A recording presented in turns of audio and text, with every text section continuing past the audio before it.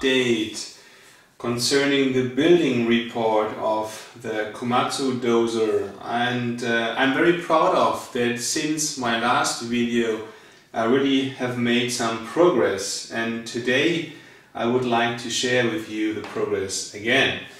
Right at the front you'll see some technical stuff, um, some valves, um, some servos, um, a pump, hydraulic pump, a tank, but this I will show you a little bit later in the video.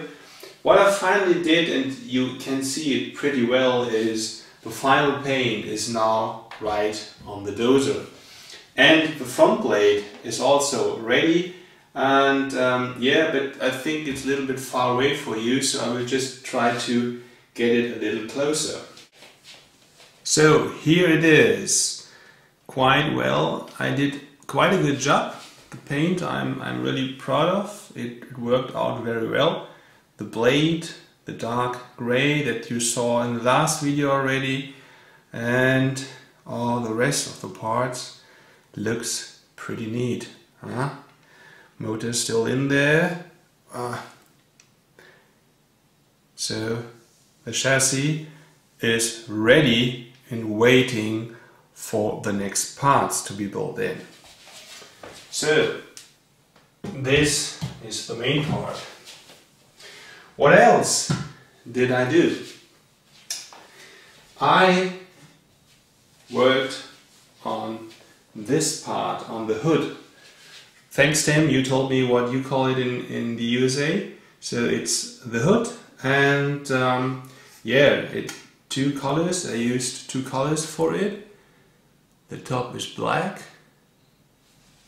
Again, these nice screws in there.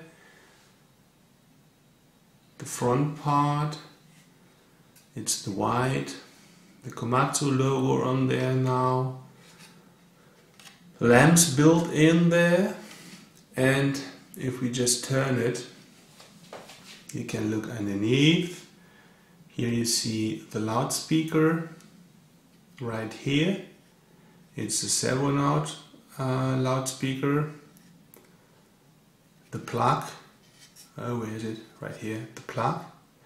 Small cables going to the lamps.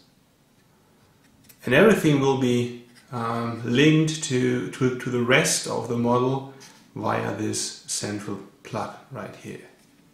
So pretty neat, looks nice and ready for the final. So this is the hood. What else did I do? Yeah, the cabin itself. Um, these parts you've seen before um, I painted them in, in this nice white and now this is the inner part of the cabin um, with the with the seat, um, the sticks and the pedals and so on and uh, really nice detail level. You can see much things on there, many things on there and again a view underneath. This is how it looks underneath. Not spectacular, and uh, but really good progress since our last video. It's not that easy to, to, to hold it right in the, in the camera so that you can see all the parts I would like to show you, but also here in this case I hope that I will become better. So this is the cabin. Uh, again something, this is the, the inner part of the cabin um, it's gray. Um, I just checked some photos from the, the real thing and I saw that it's most, many, many uh, dozers, it's just this gray. So I also use the gray. I like it very much. This is the inner part. It comes right this way. You put it, put it on here. That's it.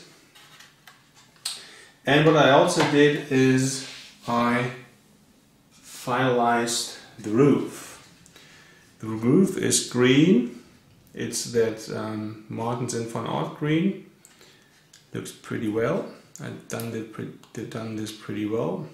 antennas, small antennas, these small lamps at the back and uh, at the front. And underneath is the inner part of the roof, loudspeakers. Okay, they do not work um, in this small machine, but they look like small, um, loudspeakers. And this has to be done. Uh, I didn't do it uh, right now. Two small lamps for for the inner of the cabin, and they will work as well in the, in the near future. So this is the green, and this comes right on the top, like this.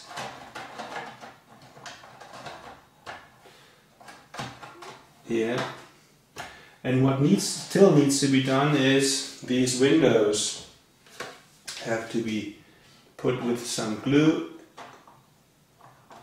right here. And what's still missing are the glasses.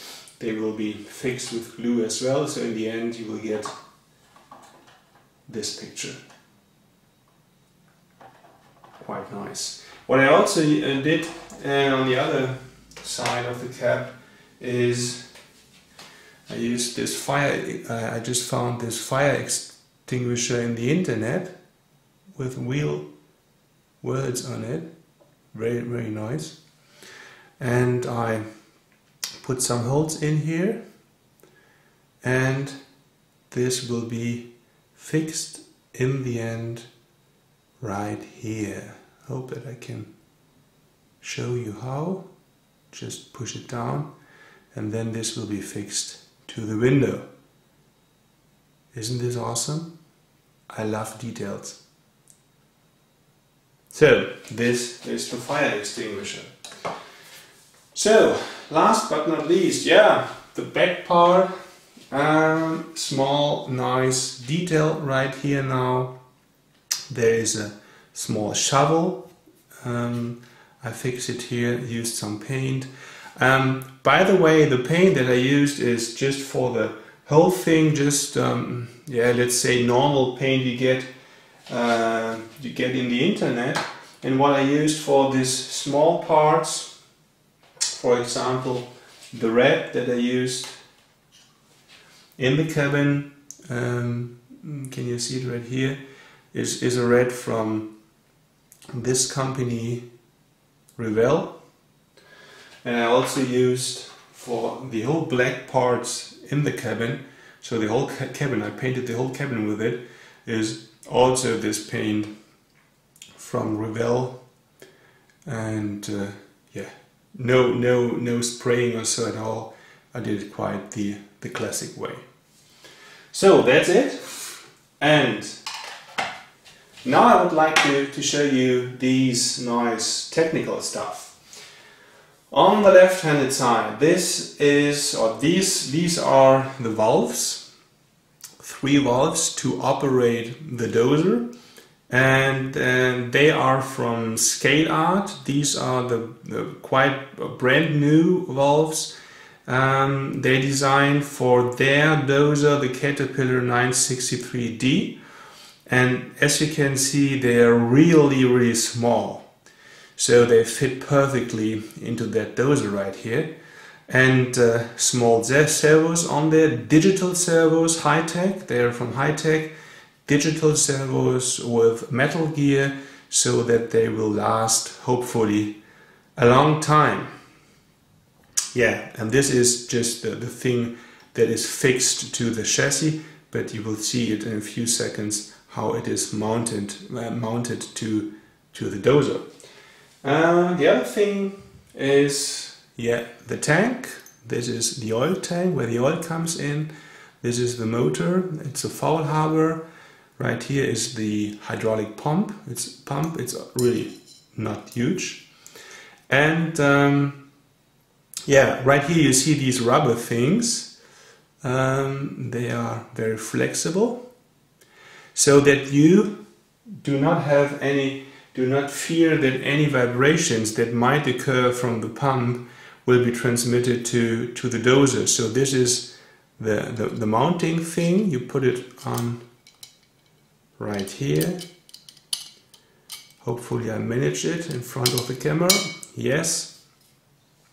Then you put some screws on it, but I will just get you a little closer so that you have a better view on it.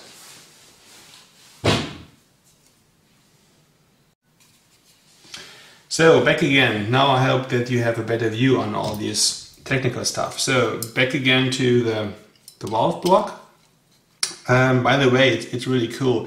I just ordered a, a, a, double valve block and a single one, and the single one is added to the double block.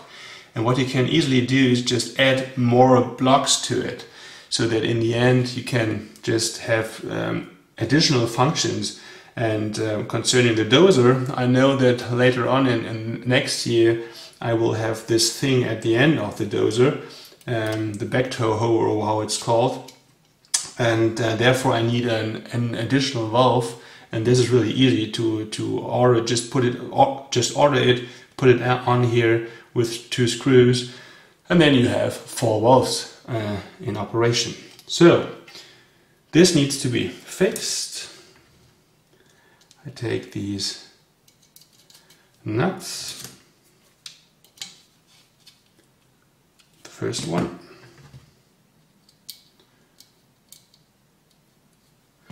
and the second one, and last but not least the third one. Oh, it doesn't work. Only can take hours. Now it is. And the last one. Now it's fixed. And what you can can see very good can see very good now is that this is just flexible. This is flexible. So if there's any vibration, it will not be transmitted to the rest of the machine. So this comes in right here.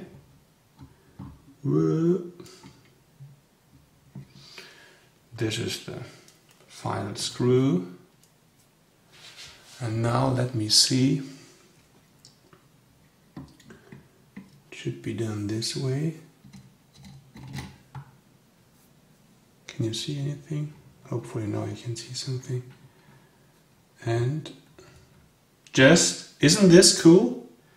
Just with a single screw, the whole unit is now fixed to the dozer it is still flexible due to these rubber things right here. It is flexible, it fits in perfectly. And this is something I, I really like very much and I've never seen before in any in any um, RC model that it fits that perfectly.